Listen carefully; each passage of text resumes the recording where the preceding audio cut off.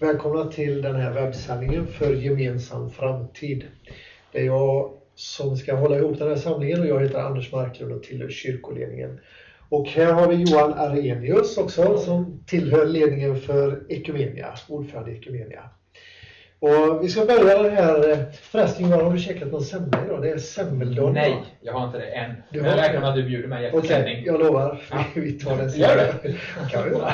Ja. Men innan vi går vidare med att köta lite mer med Johan så ska vi titta på ett inslag som Lasse Svensson och Miriam Karlsson står för. Varsågoda, här kommer det. så är ni välkomna hit till Göteborg där jag sitter i Miriam Karlssons eh, kök. Hej Miriam! Hej, välkommen hit. Tack så mycket. Du är ju eh, något av en frontfigur för en speciell eh, rörelse i kyrkan. Ja, då tänker du på 40 under 40. Ja, för det är lite fokus idag här tänker jag i vår webbsändning. Mm. Att eh, tala om den här, ja den här initiativet, vad ska man kalla det? Rörelse kanske var för mycket. Ett, ett upprop har vi nog valt att kalla det Ja. någon gång. Ja. 40 under 40, vad betyder det? Det betyder 40 procent under 40 år. Och eh, tanken är att eh, 40 procent av eh, ombuden till konferensen ska vara under 40 år. Då.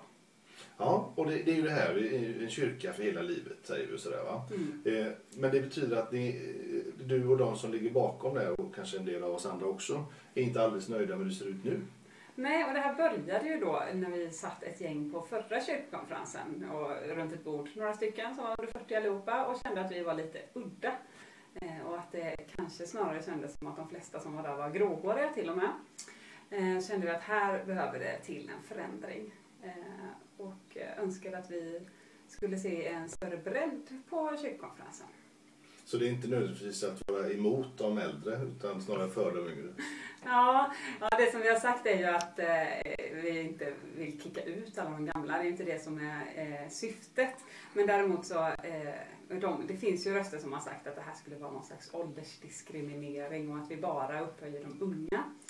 Eh, och vårt svar har väl i så fall varit att det kanske snarare har varit en åldersdiskriminering innan och att vi har sett en väldigt eh, låg representation av de som är yngre. Och då är ofta yngre kanske till och med under 50. Så eh, att vi satsar på den här åldersgruppen nu är väl bara för att utjämna en ojämlikhet som finns.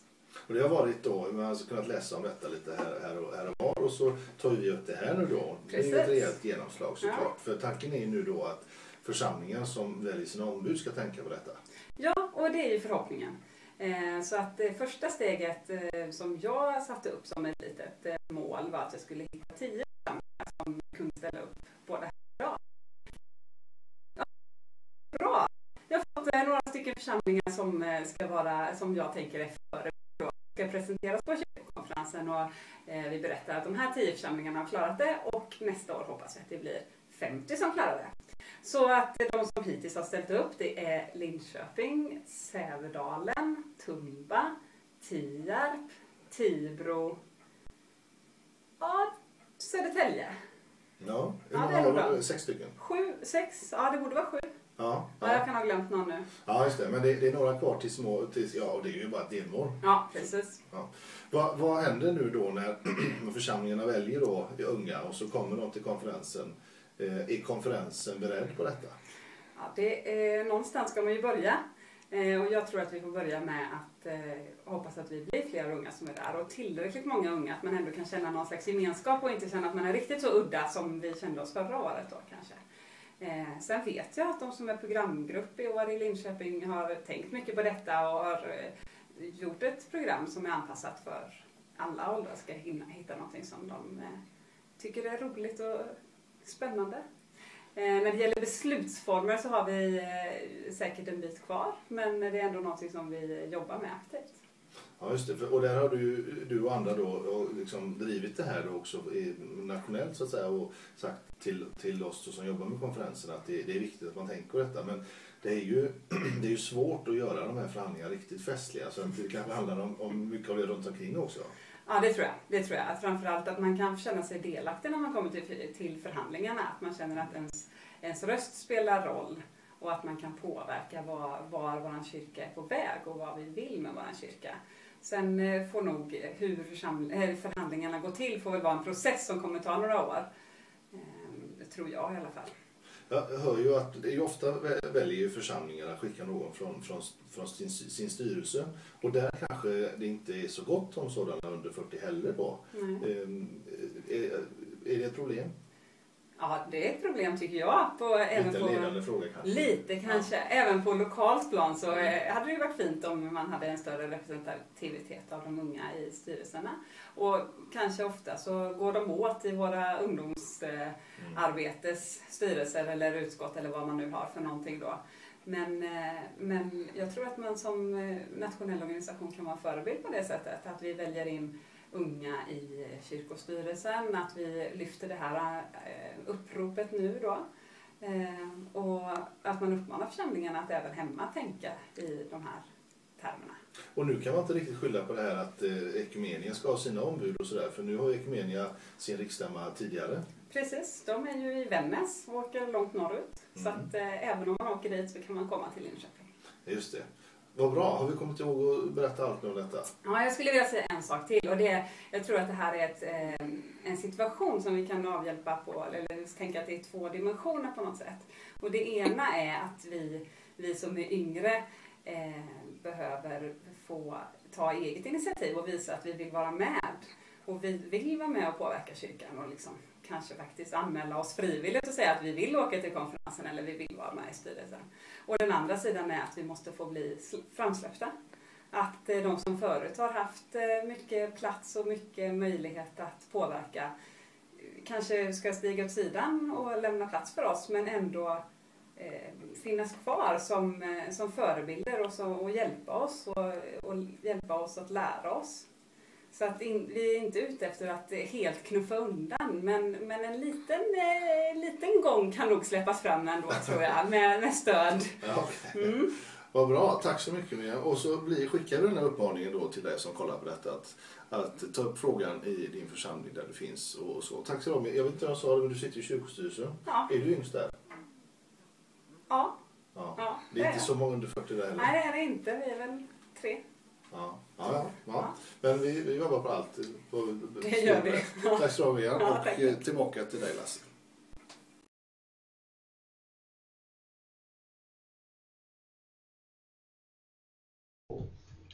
Okej, då är vi tillbaka här igen då och vi har fått lyssna till Lasse och Miriam. Johan, vad tänker du egentligen när du hör 40 under 40.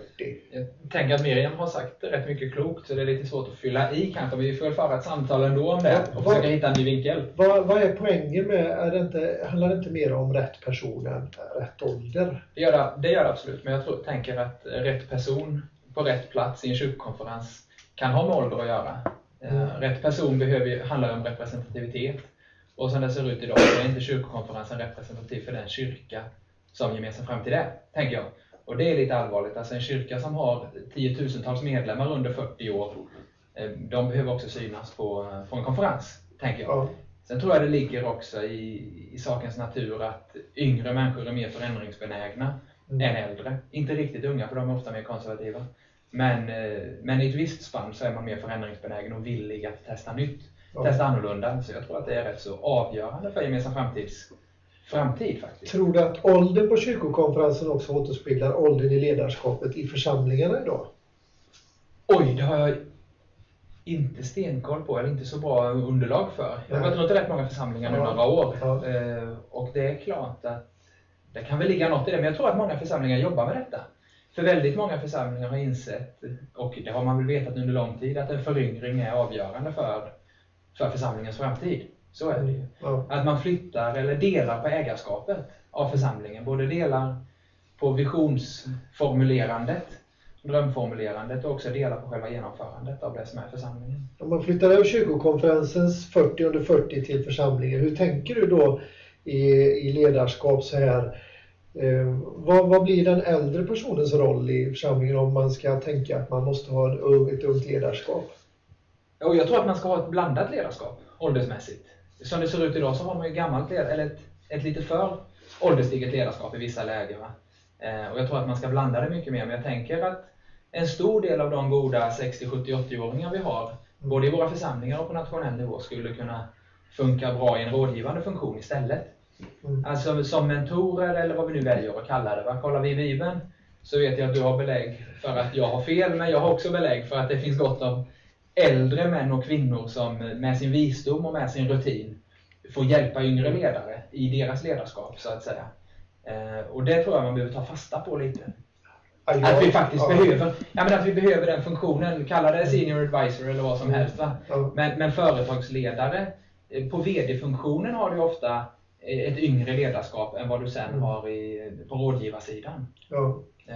Så, och det tänker jag att vi skulle kunna använda Ja. 70-80-åringarna till som rådgivare till ett yngre ledarskap. Med deras erfarenhet, Ja, absolut, deras eh, absolut. kunskap. Det här och- handlar ju inte om 40 under 40-initiativet.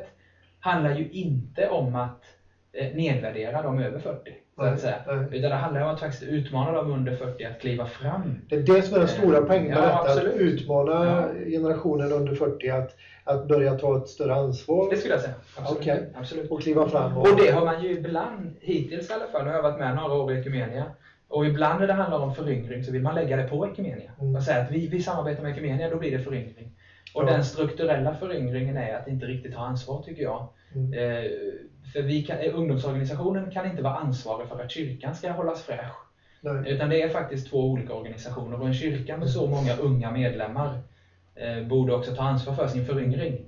Och det återfinns i alla möjliga kringorganisationer också. Ja. Bilda och hela människan och alla möjliga vill samarbeta med oss för att då bli yngre. Mm. När det i själva verket handlar om att man måste få in många mer yngre i sin egen ledning. Mm. Sen bidrar vi gärna såklart. Ja. Nu Ekumenia, vi, vi byter spår lite. Ja.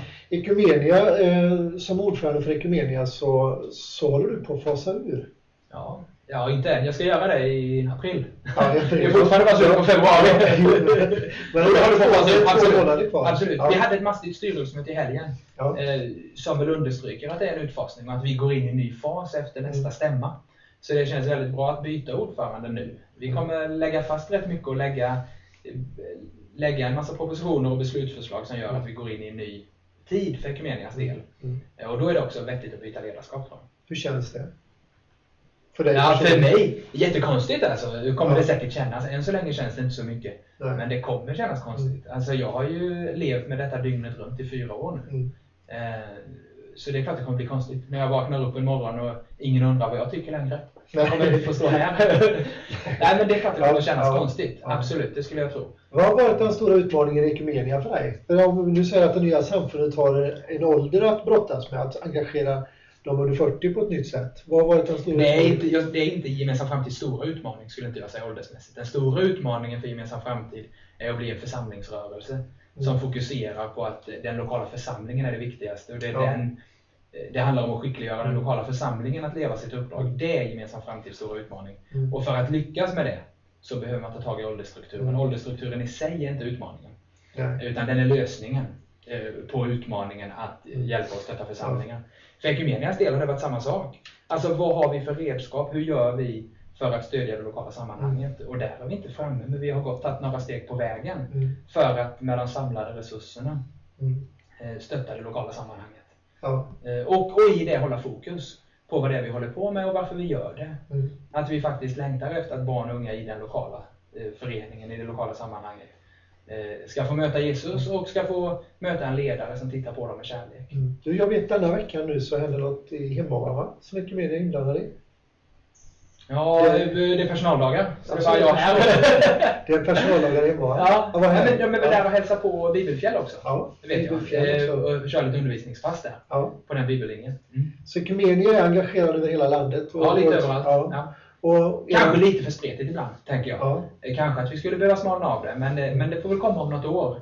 Mm. Det har nog varit nödvändigt i början att vara lite spretiga. va. Men det är klart att vi mer och mer ser vad är det som bär frukt Mm. eh, lokalt och vad är det som inte får någon lokal påverkan. Mm. Och då får vi börja prioritera. Och er årskonferens ligger inte parallellt med kyrkokonferensen för gemensam framtid. Nej, vi ligger ju sista helgen i april eh, till första maj. Och geografiskt sett så ligger Uppe i Vännäs. Uppe i Vännäs. Ändå uppe i Norrland. Det Ja. eh, är ju en bit upp, ja. För en del. Och för en del handlar det om att åka söderut. Ja. Eh, För några stycken. Inte så många. Mm. Men några kommer få åka söderut och de flesta får åka norrut. Ja. Det är det för annat som är på gång i Ekumenia? Ja men det är ju bra att vi får göra lite reklaminslag också. Ja. Du, kan, du har säkert eh, någon relation till Apostlagärningarna 29 bland annat. Jag såg att det kom en ny affisch idag, tror jag, att den hade kommit från tryckeriet. Ser ut så, så här. Ja. Ser den ut? Vill du berätta något om det? Apostel, Ja, det är bättre att du gör reklam än att jag gör det. Ja, Apostlagärningarna 29 är ju en fantastisk bibelskola. Det som man önskar att alla unga människor skulle få vara med om någon gång. Och jag har haft förmånen att få vara med och undervisa vid två tillfällen i Ecuador och i Kongo, Brazzaville. Och det är ju, är ju höjdartillfällen för mig som pastor att få vara med. Jag tror att den i höst. Två nya skolor. Mm. Kongo-Kinshasa bland annat och sen är det någon merstans. Så den, Det blir spännande. det blir spännande vad det andra stället Ja, är. så håll, håll ögonen öppna på det. Sen en annan grej som kom idag också, eller igår vad det nu kan ha varit, eh, senaste Minfot, som tar upp eh, scoutlägret 2013. Håll utkik efter det också såklart. Ja, Du kommer nog vara där. ja det hoppas jag. Där har vi en utmaning från Ekumenia till Gemensam Framtid, eller till samfunden, att ha en god representation av ungdomsledare och pastorer och försam- andra församlingsanställda. Så att det blir hela rörelsens läger. Ja. Så att säga. Mm. Okej, det var lite om eh, Ekumenia, lite om kyrkokonferensen och lite om vad Ekumenia sysslar med nu och vad Johan håller på med nu när han fasar ur på två månader då. Och så fick vi ett reportage från Lasse och Miriam om 40 under 40. Nu går vi in i en fasteperiod i, i kyrkan och jag tänkte jag skulle läsa ett bibelord om det här. Jag läste på Facebook precis nu innan jag gick in i den här sändningen att vad, vad avstår du ifrån under fastan? Vad kommer du att fasta ifrån? Var frågan på Facebook och då tänkte jag på det här bibelordet. Detta är den fasta jag vill se, att du lossar orättfärdiga bojor, sliter sönder okets rep, befriar de förtryckta och krossar alla ok. Dela ditt bröd med den hungrige, i hemlösa stackare husrum. Ser du en naken så klä honom, vänd inte dina egna ryggen. Då ska Herren svara när du kallar och när du ropar så säger han, här är jag. Alltså det är ju den fasta, tycker jag, väl så viktig som någon annan. Att se till min nästa på något sätt. Och jag önskar att den här nya kyrkan som vi håller på och sjösätter ska få bli en kyrka som ser till den nästas behov, inte till vårt eget. Ska vi be tillsammans? Herre, vi tackar dig för att du har skapat oss. Tackar dig Herre för att du har gett oss ett uppdrag och satt oss i ett sammanhang, Herre. Och vi ber nu för alla lokala församlingar som finns i vårt land. Vi ber dig för att vi ska få vara ljus och salt på den ort där vi finns. Att vi ska få vara en församling och ett sammanhang som lever i den här tänket vad gäller fasta. Att vi ska se den nästa som finns runt omkring oss och verkligen våga göra någonting för den ena och den andra också, Herre. Så ber vi att du välsignar var och en som tittar på den här sändningen och som har funnits med på något sätt. Och vi ber om ditt beskydd och din omsorg över oss. I Jesu namn. Amen. Tack ska ni ha.